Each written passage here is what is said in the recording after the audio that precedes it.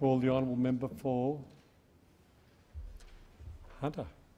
Thank you, Mr Deputy Speaker. The horrific and tragic injury suffered by NRL player Alex McKinnon reminds us of the dangers of body contact sports. The young Newcastle Knights forward hails from Aberdeen in my electorate and, of course, is a local hero and a role model for younger players. The tackle which led to Alex's injury will no doubt spark a debate about rule changes, particularly the so-called three-man tackle. That's a welcome thing.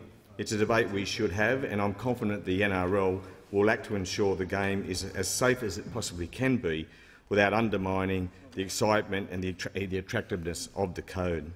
Our thoughts and prayers are with Alex McKinnon and his loved ones. I know all members will join with me in wishing him a full recovery and a long and happy life.